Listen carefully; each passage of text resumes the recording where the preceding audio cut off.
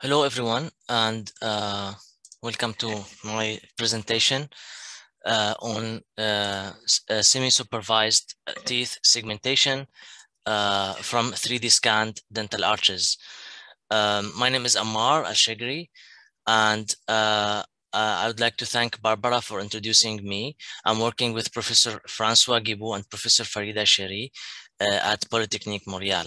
Before I start, I would like to uh, thank the uh, funding from IVADO, uh, who, who, awarded me like a postdoctoral fellowship to carry on this project. So uh, I would like to, uh, just a second. Okay. I would like to start with the outline of my presentation, which will start with an introduction on the segmentation of 3D dental arches. Then I will present some literature on the topic, the objective of this talk, the methods that I used, and then some preliminary results. And then I will conclude and provide some insight for future work. So uh, what is dental arch segmentation? Here in this picture, we can see a scan of a dental arch. And segmentation of a dental arch means to label each tooth and gingiva separately. So we would like to provide a semantic segmentation, giving the correct label of every tooth and distinguish distinguishing teeth from each other and from the surrounding gingiva.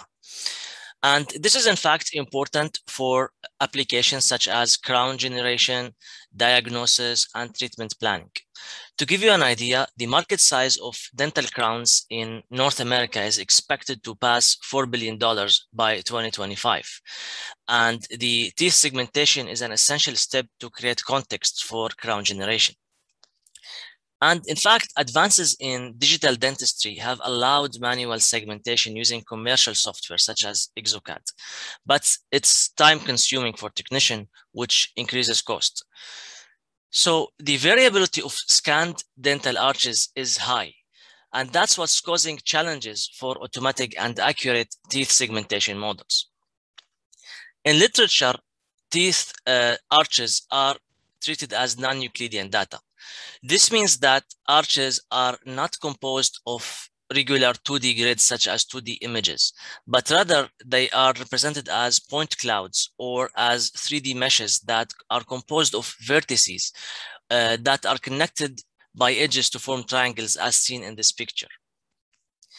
And one of the state-of-the-art studies and models has, that has been published recently is the MeshSegNet that treats dental arches as an input and outputs, as you can see here in this network, a classification for every tooth on the dental arch.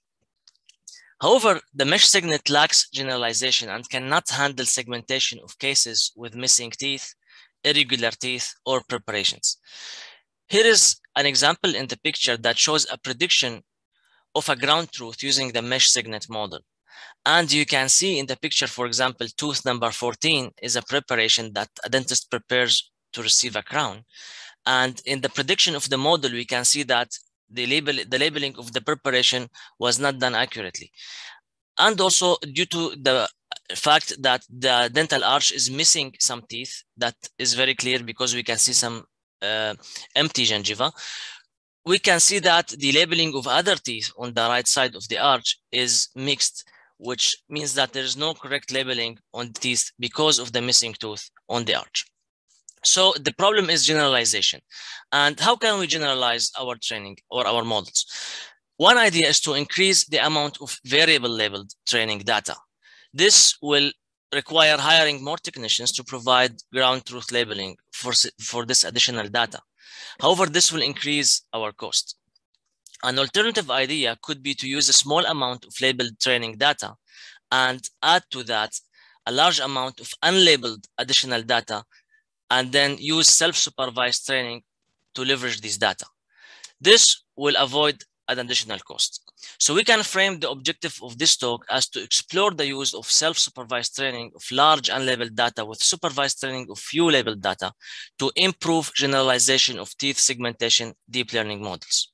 So what is self-supervised training? In fact, unlabeled data still contain a lot of information that we can leverage automatically to create some training loss to learn useful representation. And this is the idea of self-supervised learning, is to use unlabeled data to train deep learning networks by solving tasks that do not require human annotation. An example is uh, shown in this picture where a recent work focused on learning unsupervised representation of 3D shapes using tasks such as clustering. And in recent work, there has been shown that uh, in the case of limited labeled data, including self-supervised losses with supervised training uh, improves the semantic segmentation result. So for example, you can see in this picture that the se semantic segmentation of the airplane, for example, when we add self-supervised training is closer to the ground truth compared with just purely supervised learning. So let's imagine that we have a data set X and this can be divided into like labeled data and unlabeled data. And let's suppose that we can create some k-means clustering of this unlabeled data using uh, some unsupervised technique. So then we can learn some loss on the features of this uh, clustered data such that we can compute a total loss that we can call it semi-supervised loss, which could be composed of a loss coming from the supervised training of labeled data and the self-supervised training of clustered unlabeled data.